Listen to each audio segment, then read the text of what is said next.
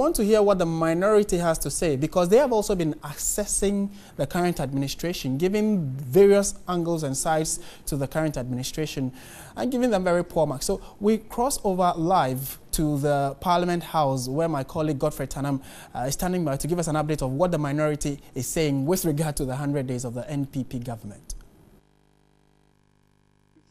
Their souls in paradise and comfort their families. And we also pray that President Nana Akufo-Addo government brings closure to the circumstances which led to the unlawful takeover of the Kintampo Waterfalls by his government's sponsored illegal forces loyal to him and the NPP. Ladies and gentlemen, if this singular and sad incident does not constitute an act of deliberate terrorism, then what else could qualify?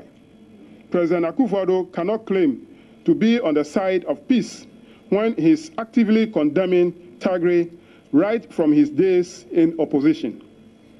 Thirdly, on 24 March 2017, another group of NPP thugs, this time calling themselves Delta Force, carried out a shocking attack on the Ashanti Regional Security Coordinator and the Regional Coordinating Council in Kumasi.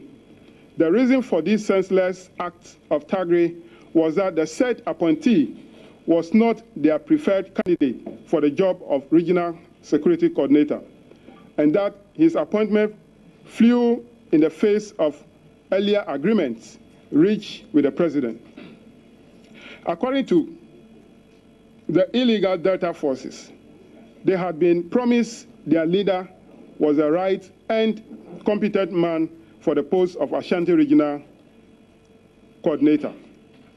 Now the fourth, on Thursday, 6 April 2017, 13 of these Delta forces were arraigned before the Court of Justice, before the Court of Justice, Mary